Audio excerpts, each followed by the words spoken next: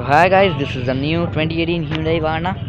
So this comes with the highly gloss chrome finished bumper, which gives you amazing finish. There is no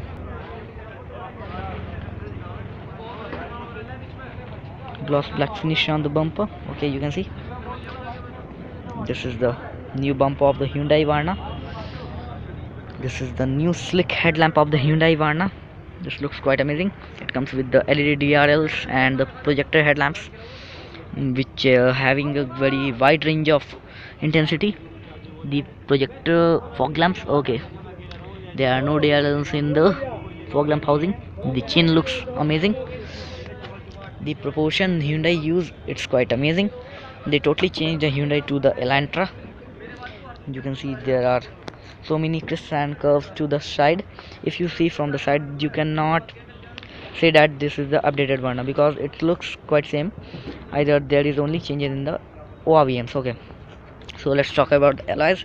So this is the alloy and this looks quite amazing. This is of the silver color okay. It is in the size of the 195 by 55 R16 this is the 16 inches alloys okay this is the ORVMs with indicator oriented inbuilt okay? This is the B pillar with a black matte finish. This there is no request button on the door handles there are lift type door handles.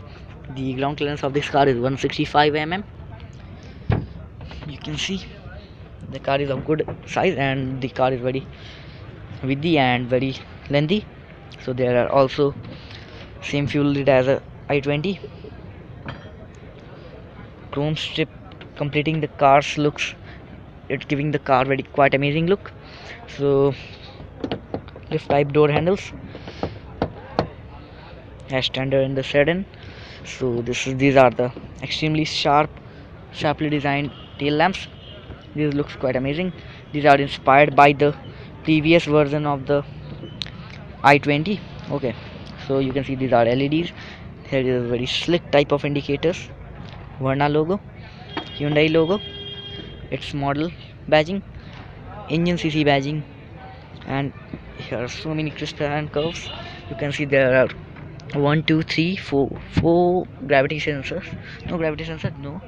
These are the sensors on the bumper. There is a reflector which works quite good in the night you can see. Here is a matte black finish not gloss black finish. You can see the underbody systems of the car.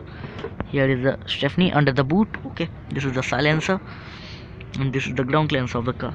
You can see so now tech this is the two tiny lamps for the license plate. And this is the camera which works really good.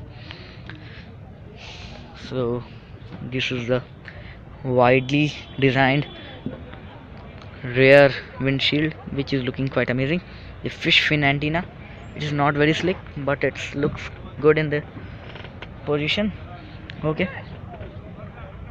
So share your thoughts about the new Hyundai Verna I think that it's a good design updated from the previous version. Thank you